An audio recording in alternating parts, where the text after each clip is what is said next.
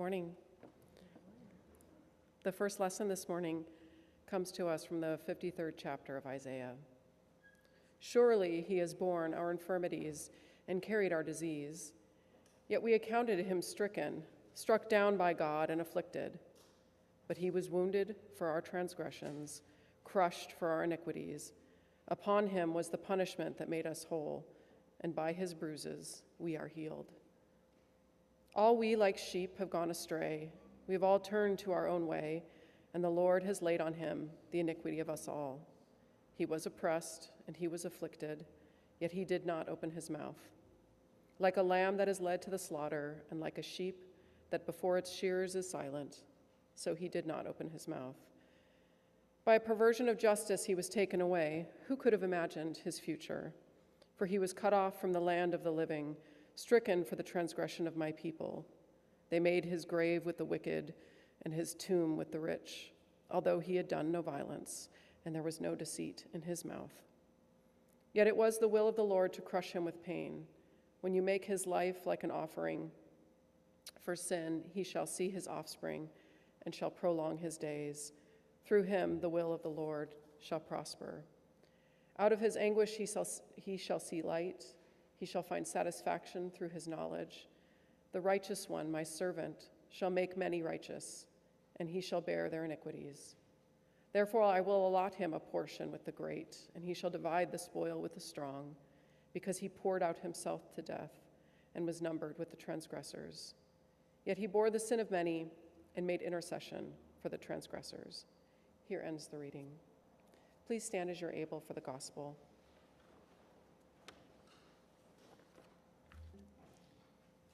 The Holy Gospel according to St. Mark, the 10th chapter. James and John, the sons of Zebedee, came forward to him and, and, said to him, Teacher, we want you to do for us whatever we ask of you. And he said to them, What is it that you want me to do for you? And they said to him, Grant us to sit, one at your right and one at your left, in your glory. But Jesus said to them, You do not know what you are asking. Are you able to drink the cup that I drink? Or be baptized with the baptism that I am baptized with? They replied, We are able. Then Jesus said to them, The cup that I drink, you will drink, and with the baptism with which I am baptized, you will be baptized.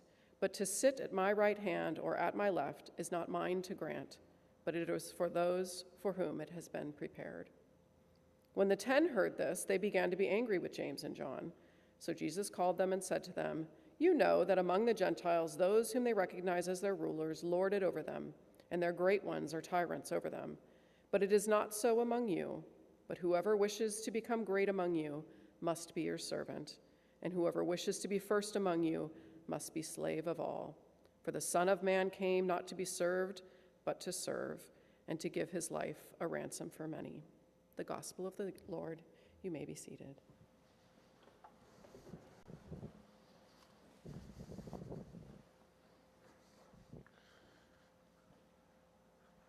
So I don't know if anyone else, I'm still feeling that song that was, wasn't that good?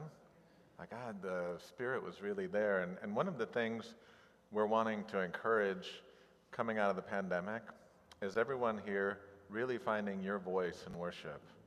Because there's sometimes a feeling like, oh, if we can, especially the Lutherans, we'll say part of this is a Lutheran problem, but like when you come, like if you feel raising your hands or moving or clapping or being like, yes, like do it. We want to hear that spirit and we want to feel that energy. And that's one of the goals as Amy and I have met and we prayed and talked about this service. Like we're on the way to this being such a full return.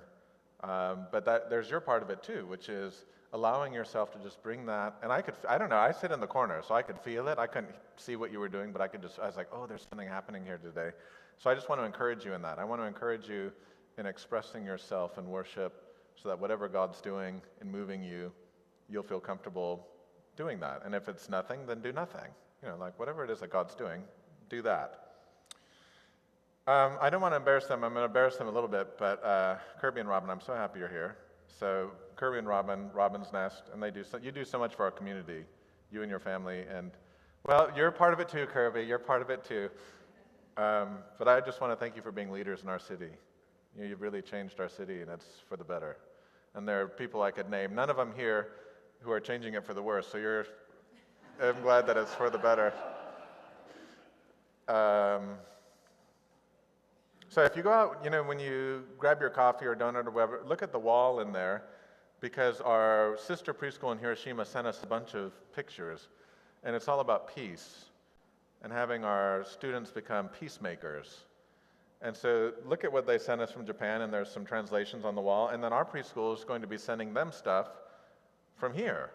And this is part of the peace exchange that we're doing. We're doing it with our preschool, and then we're going to send high school kids to Japan next summer, and they're going to send kids here, and then we're going to send adults next year. So this is all about this exchange of peace between the two countries and between people who belong to God in different climates and contexts and languages but who are all hearing the good news of Jesus. So check that out and be a part of that. Um, we have a really fun fellowship event coming up. So after church, check out uh, Cheryl and her table. I mean, really her table. You can check out Cheryl, but more her table than what it is. But if you remember, we did the murder mystery night um, where we, it was like the cruise line. And now we're doing one that's like 1920s prohibition, like gangsters. So if you want to get on, you're like, hey, get over here, kid, get over here, get a knuckle sandwich or whatever. Uh, it's going to be a lot of fun. So, and I, th- I, think it's called Murder at the Juice Joint or Juke Joint or something like that. It's going to be a lot of fun. No one puts on a party or dinner like uh, Cheryl and the fellowship team, so we hope you can be a part of that. And as you leave today, grab something for Fall Festival. That's this Friday. So, you know, we have uh, trunk or treat if you want to add your trunk to the trunk or treating. We have a chili cook off if you want to add your chili. Uh, one of our new folks, Steve, is barbecuing for 120, so we're going to have a bunch of pulled pork and stuff. He does Tennessee style barbecue. Um, it's going to be really fun. So come out. And then our Japanese ministry, they're going to have marble drink, and one of, our, one of their painters is going to have some of her paintings available. And uh, it's going to be a cool night. So Friday night, uh, hopefully you can join us for Fall Festival. Um, and then I, I'm telling you all this because there's so much happening right now. Otherwise, you're just like, why is he? But I just feel I need to tell you all this. Uh, the week of Halloween, we're going to have a special kind of meditation on grieving, grief, after this year of pandemic, after this year of anxiety and loss. And it's going to start Halloween afternoon. We're going to do a concert. Our choir is going to do a concert that reflects on death, grieving, and hope in the resurrection uh, with choir music. And then um, that next weekend, there's a filmmaker in Huntington Beach that we've been working with for the last year to do a faith film festival. So we've had people submit original films from all over the world, and they're going to be screening them in a drive in format in the parking lot. And we're going to be looking at human creativity in the face of grieving and death and hardship. And then that Sunday, which is All Saints Sunday, the first Sunday in November, we're going to do everyone together, two English services, the Japanese service, and we're going to do a big All Saints Day to remember all those who have died. And the Japanese do it in a very special way. And it's to remember the power of God in the face of death, you know, and the promise of resurrection. So, over the next month, there's so much that you can do to get involved and be connected here and to have us grow together in faith, community, love, and fun. And you can wear a costume for at least one of those events. If you want to wear a costume for more than one, you can do that too. Uh, you'll remember last week, um, and if you weren't here last week, I'm going to tell you anyhow, um, that discipleship is very costly. To be a follower of Jesus costs a lot. And that's what we had with the rich young man who he absolutely understood what Jesus was asking of him. And so we talked about it almost like preparing for a colonoscopy, that sometimes God just has to clean you out. Like, get everything out of the way so that we can see clearly your spiritual health and what you're doing. We might call them the spiritual polyps of our attachments, the things that are keeping us from truly following and answering that call. But when people hesitate, it's because they understand what God is asking of them. And one of the benefits that Jesus' disciples have, which we see very clearly from what Dana read this morning, is sometimes dumb people have it easier than people who know what's happening. And I don't want to just say dumb people, stupid people. I mean, they do have it easier in some ways. People who are willfully not listening, people who have taken the story and made it say whatever they want it to say. So think about that. The disciples watched this interaction with Jesus last week, as we did. And then today, James and John are kind of off in a little bit of a sidebar, and they don't go, man, maybe we got this wrong. Like, maybe we don't want to be doing this. He said it's going to be impossible, and God has to do this work. And And then James and John go, Well, now's our chance. Now's our chance to shoot our shot with Jesus and to ask him the question we've always wanted to ask him. And maybe you've had this if you go, if I could ask, sometimes people say this when I get to heaven, I have one thing I want, I have a couple questions for God, which is, I think, a normal human desire. I have a few things I want cleared up about life. And imagine James and John get that chance. I get the chance to ask Jesus the one question I've always wanted to ask him. And you'll notice the question isn't, so how do we inherit eternal life again? Or like, so what does it mean that we follow you more closely? They shoot their shot and they say, actually, what they do before they ask their question is, Jesus, give us what we're asking for. Which is the same thing when someone you love comes up and goes, um, promise you won't be mad. And then you know, like, oh, okay, well, what are you going to say? Well, I'm not going to tell you until you promise not to be mad. So they go, Jesus, give us what we're asking for. And he goes, okay, well, what are you asking for? And then they say, we want greatness. We want to be like you, one on your right, one on your left. And the other disciples are angry. And they're not angry, I think, because James and John asked that question. They're angry because they didn't get the chance to ask it first. Everyone has a little agenda following Jesus. See, this is the problem. They have their little agenda of what they want to do to leverage God for their own advancement. And that means their following of Jesus just becomes a kind of divine concierge service, like, hey, we've got God in our pocket to get us a little bit ahead. And then James and John go, forget it, let's just ask for the whole thing. The reason we're doing all this, the reason we left our father and the nets and the boat, it wasn't because we were necessarily interested in this stuff about the cross and Jerusalem and death and so on. We're more interested in securing our place. Like Dan and I have a friend who, when he first moved to LA, was moving furniture for celebrities. I mean, he had this crazy job where they would build couches in downtown LA for $500 and then take them up to Beverly Hills and sell them for $25,000. And, you know, moving rugs and going, no, move this here. So they go, never, ever interact with the celebrity clients in a business way. Don't ask them for things. And he goes, okay. So he goes and he's on one of his jobs and uh, they're at Orlando Bloom's house, you know, from uh, Lord of the Rings and Pirates of the Caribbean and stuff. I guess now we would say he's Katy Perry's husband. That's probably the only thing he's known for now. But uh, he, so this guy, they're moving furniture, and this guy goes, uh, Mr. Bloom, I wrote a script and I wrote it just for you, and I want you to have it. And he gave him the script. And then he got immediately fired. But he didn't care because he goes, That's the only reason I did this because I wanted to shoot my shot. I wanted to get toward greatness, and I wanted this to be part of my legend.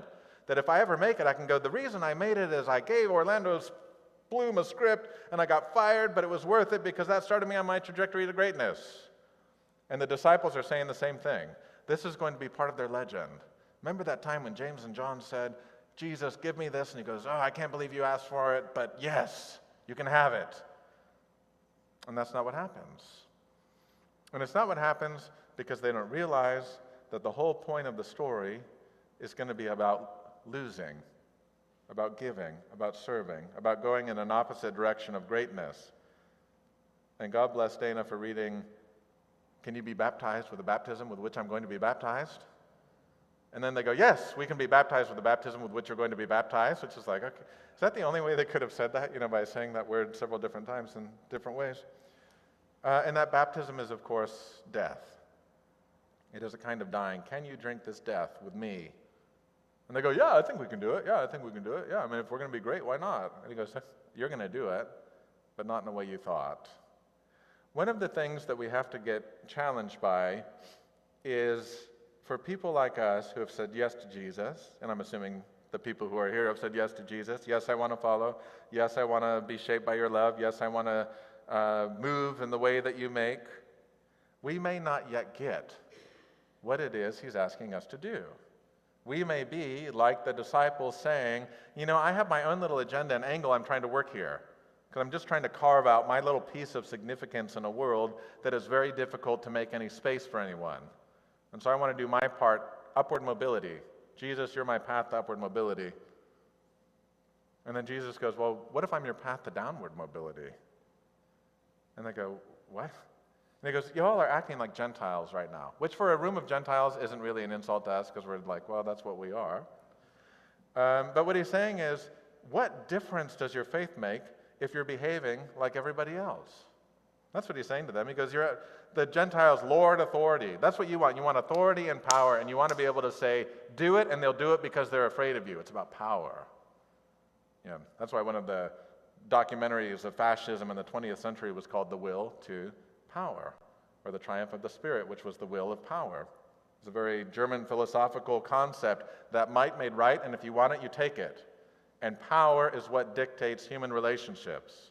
And Jesus goes, No, that's not what dictates relationships. What dictates relationships is love and service, going downward, reaching down, offering a hand, creating space for vulnerability, not trying to use someone toward an end, not just turning people into objects that we do things on, but allowing them to be and live with the dignity that they were made to have.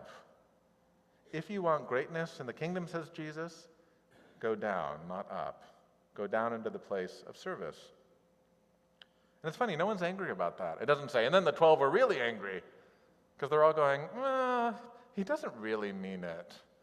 And that's something that is challenging for us is sometimes we'll read these words of Jesus and we go, mm, I'm not sure he really means that. Because, of course, I have my own little plan that I'm trying to work out with Christ. Now, there's another dimension to this, which is we can talk about the self centered problem of faith that we encounter and that we all participate in, kind of a spiritual narcissism. It's something, it's a problem, like it's a problem that we all have to wrestle with. Um, because, of course, we say, well, there's no one more in- interesting than myself, you know. Um, but we have to recognize the commitment of Jesus, and we, we sang this very clearly in the music, which was great. The commitment of Jesus to love us in spite of and even through our spiritual narcissism. And that love turns into pain for Christ. How is it that the prophet Isaiah, who is writing to a people in exile who are about to come home, and he's writing as a prophet of hope, comfort, comfort my people. I'm going to make a way for you in the wilderness. I'm going to create for you a way to return home and belong to your God, and you're going to be triumphant, and you're not going to be crying anymore. You're going to be laughing and praising. And then we get these weird, punctuated marks of a distinct description of one person who will suffer for doing the will of God. There's four of these in Isaiah. They're called the four servant songs of Isaiah. They just sort of pop up in the middle of this prophecy of restoration, and then they kind of go down, and then they come up and go down. And you go, who is Isaiah talking about? And why is this way of restoration and doing God's will going to be spoken of in such terms as God's will was to crush him with pain? You know, I mean, you go, ah, that sounds bad. It almost sounds like a kind of sadism, like, oh, well, that's what we were worried about with God, that God does things like that to people. And what you have to understand about Isaiah is what Isaiah is saying, and of course, for the church, we see this clearly describing Jesus is that God is going to keep loving you no matter what happens. And not only no matter what happens in external circumstances, but what happens in our own obstinate self centeredness of trying to use God to accomplish our own ends. God's going to keep loving us. God's love doesn't pull back from us, and that will be experienced as pain and suffering for the heart of Jesus. When Jesus ends up on the cross, what he's suffering isn't just the physical experience of crucifixion. What he's suffering from is the rejection of love. This is God saying, I came to say yes. And this is our answer, which is murder, which is no. And Jesus doesn't go, Oh, that's not how it works. You don't know who I am. I made you. And in the game of power, you don't have any, and you're out. Bring in the next group. He doesn't do that. He absorbs our no, he absorbs our self centeredness, he absorbs our violence, and that becomes the experience of love as pain and suffering. Now, when you think about it, the experience of pain in our time is for the most part to be avoided. You know, if you think of our opiate problem and our narcotics problem, oftentimes we're trying to create distance from pain, which isn't bad. I mean, I, I, take the pills too, and I'm in, you know, when the doctor goes, "Here, take this, you'll feel better," and I go, "Yes, thank you, thank you." So I'm not saying we don't. I'm not saying we don't live in that world. But what I am saying is Jesus refuses any kind of narcotic so that he had, would have, let me say that again. Jesus refuses any kind of narcotic that would diminish his experience of loving you in the midst of whatever it is that you're doing or has been done or who you are or how self centered you are how broken you are whatever. Jesus does not want to diminish one moment of feeling that love, which is translated into the immense suffering that we see, bearing our diseases, our infirmities. By his stripes we are healed. All of this stuff. And the interesting thing about it is this is where we see the power of the cross, which is in a world where power uses death to lead people to fear and manipulate their behavior, Jesus takes death to break death. Jesus uses death to destroy death, makes captivity captive. That's the whole point of the cross. How can Isaiah say that by his wounds we are healed? Usually we just say, by his wounds, he's just another poor guy that's body is broken down and now he needs a doctor or he needs a pain regimen. Oftentimes we just see the power of death, suffering, and illness as something to avoid because once we feel it comes to us and touches us, then we're stuck there. And here Jesus takes that and transmits it into healing. This is why we can talk about the gospel being good news because Jesus takes the poison wood of the cross and grows fruit that will be our life. You can taste it and it's good. You can taste it and it heals. And that means that in a world that does use the currency of violence and fear, that the church can even absorb that and have Jesus bring about life. Because if Jesus isn't going to do that, then you could reasonably ask maybe James and John weren't wrong. But if Jesus does do that and has a different kind of economy that we're working in, this economy of healing, this economy of breaking that cycle of violence and vengeance and hurt, bringing about fullness of life, then in fact we see the way forward for disciples, this downward mobility to service, because we know where the true power is. It is the love of God repairing and healing and restoring the world.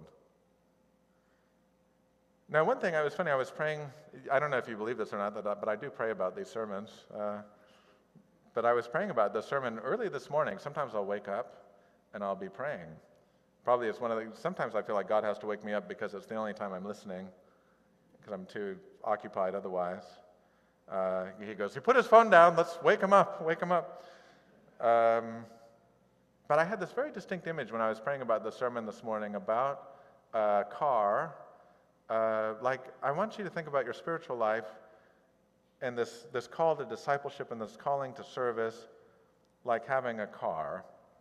And that one of the problems that people are facing in our church and in our time, and it's, it's, not, it's everywhere, is they assume that the car will not go because it's defective. But the image I got when I was praying this morning wasn't that the car was defective, it's just that people aren't putting gas in it. And so sometimes we'll think that the project of discipleship is impossible because we're simply not putting gas in the car. You need to take time to put gas in the tank of what God gave you, primarily through prayer. You need to set aside time to pray time to listen, time to sit in the presence of God so that God can fill you for this work. I actually had someone tell me that in Huntington Beach who's sort of prophetic. He goes, If you would spend as much time praying as you are working, you wouldn't be as tired in your work. And I go, Well, I don't have time to pray because I'm working. And he goes, That's what I'm trying to tell you. Put your prayer first and then do that. Um, it's like one of, our, one of our members was at the Boys and Girls Club dinner last night, and his wife told me coming out of church today, she goes, Do you know what he bought at the auction last night? And I go, I go, Did you buy that motorcycle? He goes, Yes, he bought the motorcycle, the dirt bike, this beautiful dirt bike that was in the Hyatt last night. And I go, Oh man, that's really cool. She goes, No, you're not supposed to tell him that's cool. It's not cool. Why did he buy a motorcycle? but she said, The first question we had is, uh, How are we going to get this home? And they go, Well, you can't take it now because it doesn't have any gas in it, it doesn't have any oil. Brand new Yamaha, beautiful dirt bike. Um, so they said, You're going to have to wait till it's ready. And I go, Wow, that's like the image I had in my prayer this morning, which is the engine is good, the car is sound, it's made to go for a long time. We just need these times to gas up. And so that's my word for you, which is Jesus tells us clearly what the path forward is, which is the path of service, the path of trusting in love and not wrestling for power and along the way, He will refresh us so that, in fact, our work can be a contribution of healing in our community. That's why when we have all this preschool stuff on the wall, it's not just for art. It's to say that Jesus has given us a vocation as peacemakers. Part of sharing healing is making peace, God's shalom for the world. And so, this is the way God will do it by feeding us with His power, which is love. And by being loved, we can go about this work of redemption. Amen.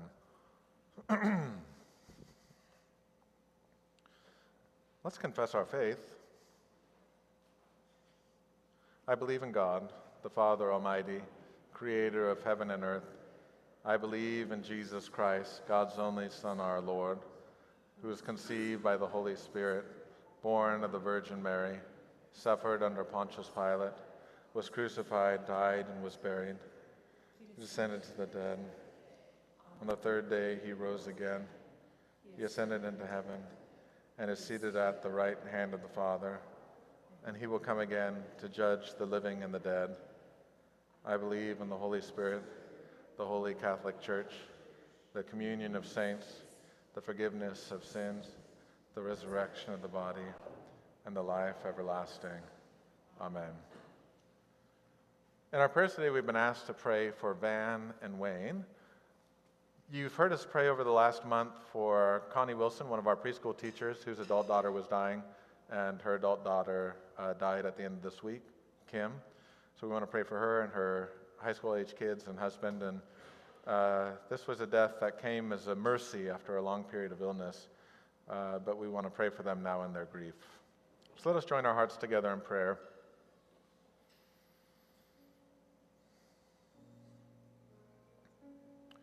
Jesus, when James and John asked you that question, did it break your heart?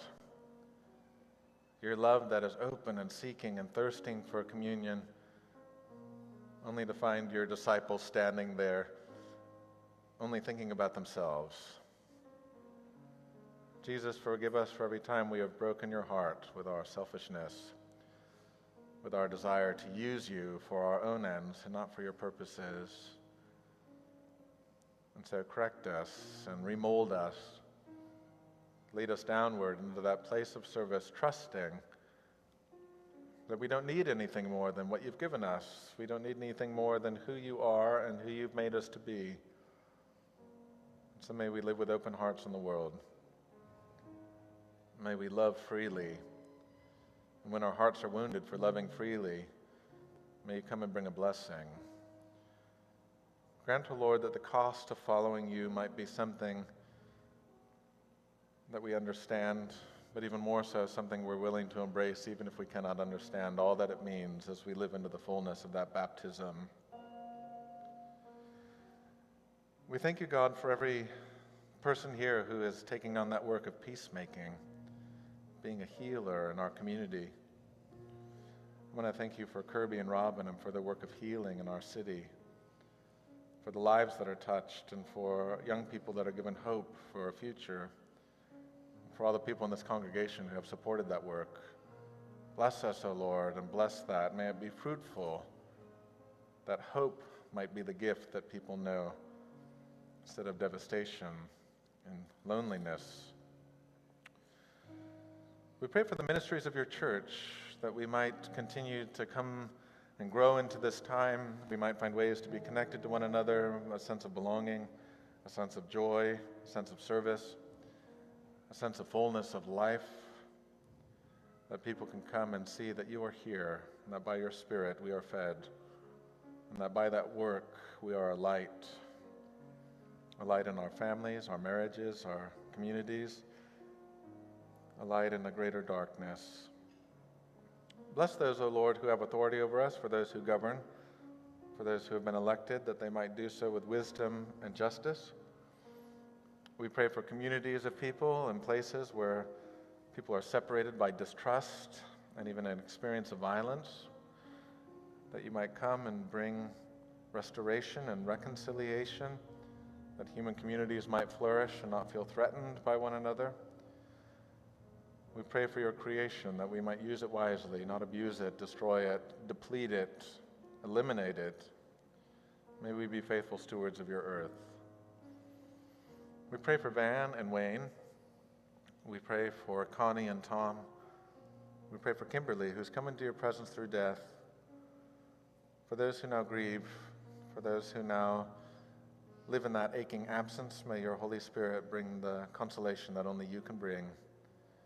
And in the experience of our dying, may we see the promise of Easter and the promise of new life, the whole goal of your work and your suffering love. Bless us, O Lord, as we prepare to receive your sacrament. For all that you give us, may we be filled with your grace and may it overflow into the world in which we live. And we ask this in your name. Amen.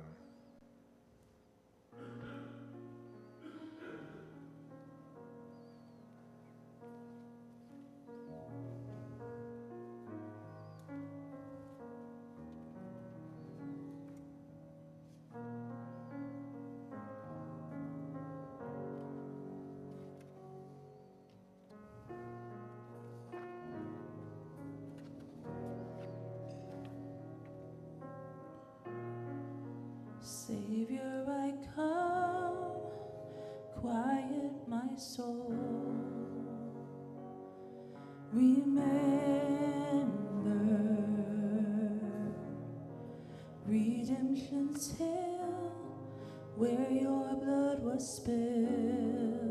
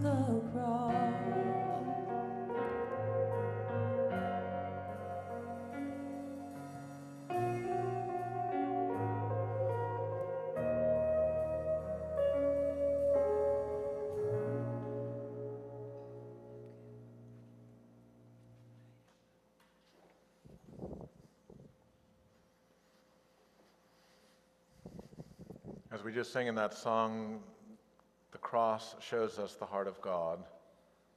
And for everyone that loves to argue about religion and theology and philosophy, that is our ultimate lens into who God is the heart of God broken on the cross with love. And as we celebrate the sacrament, it is a reminder that each of us has some limit of love in our life, whether it's been a person that we couldn't love anymore or someone that betrayed our love. Or, I mean, that's part of being human, is the limit of love.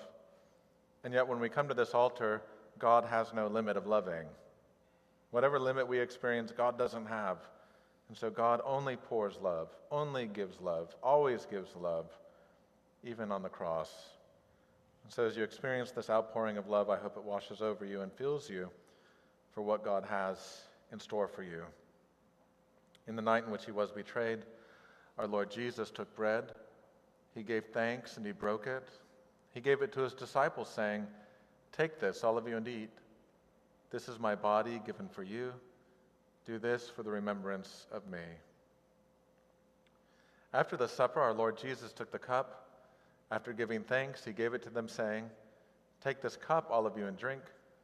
This cup is the new covenant in my blood, shed for you and for all people for the forgiveness of sin. Do this for the remembrance of me.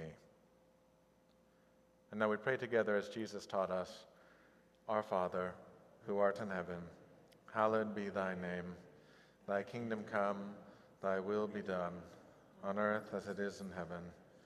Give us this day our daily bread, and forgive us our trespasses, as we forgive those who trespass against us. And lead us not into temptation, but deliver us from evil. For thine is the kingdom, and the power, and the glory, forever and ever. Amen. Behold the Lamb of God who takes away the sins of the world. Happy are we who are called to his supper. A reminder that for communion, we'll start with this side of the church. You'll come down the center, receive the bread and the cup, and then you can put your cup on the brown tray, and then we'll do this side second.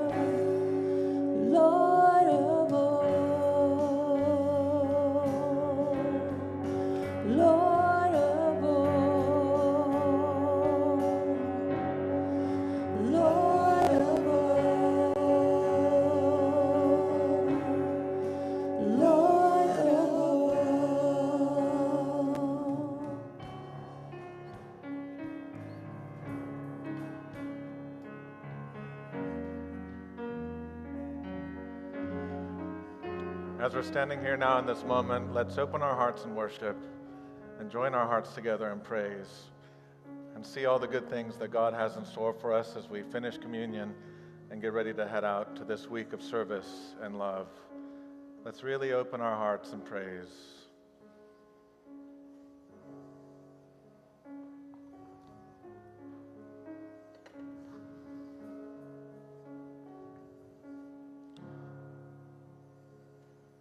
Jesus, we love you and we serve you in this place.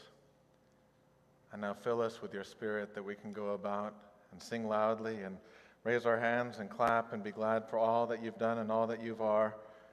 And we ask you now to bless us in the name of the Father, Son, and Holy Spirit. Amen.